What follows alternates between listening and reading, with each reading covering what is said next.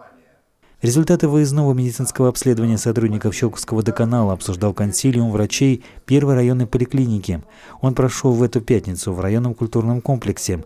Пилотный проект проведения скринингового исследования показал тревожные цифры.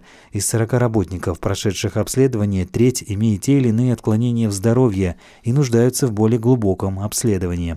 Похожие результаты показал скрининг 28 работников автоколонны 1785 Мост Трансавто. За 10 минут тех, кто пришел на обследование, осмотрели эндокринолог, кардиолог, терапевт, стоматолог.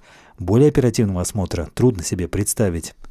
Скрининговое обследование э, предприятия «Водоканал» еще и автоколонна 1785 позволило нам выявить около 30% неблагополучия в здоровье работающих людей. К сожалению, люди э, это были молодые, до 40 лет.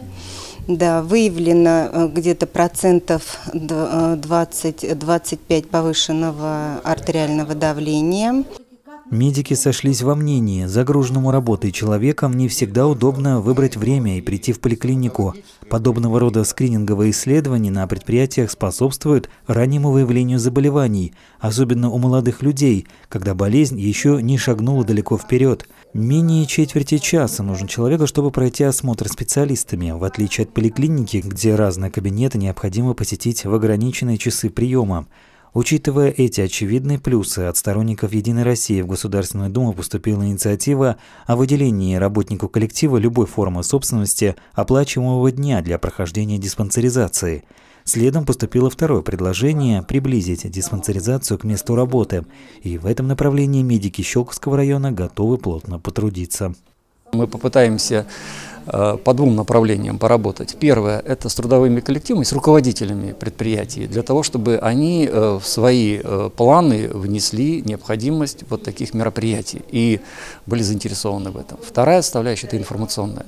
Нам нужно убедить людей, что на ранней стадии действительно выявленное заболевание легче лечится Проект проведения скрининговых исследований без отрыва от производства, реализованный активистами Щелковского района и Балашихи, позволит медикам приблизиться к максимальному показателю выполнения плана диспансеризации.